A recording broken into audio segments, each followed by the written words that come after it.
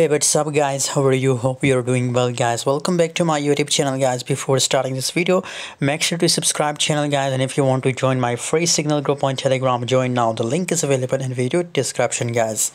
Band protocol is pumping very well recently. It's just right now start pumping 58.82 percent. The price up 2.33 cent that's the current price of Band protocol coin guys. So now what should we do now right now situation and what will be the next moment? Let's see. Uh, but if you want to join my telegram group or my telegram free signal group. So the link is available in video description. Join now guys.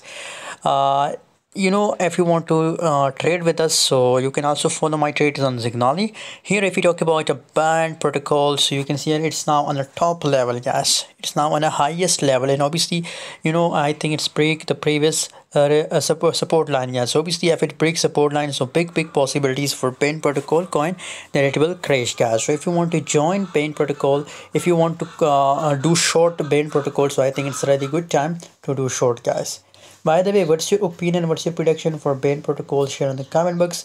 And guys, don't forget to subscribe channel for more latest news and update videos.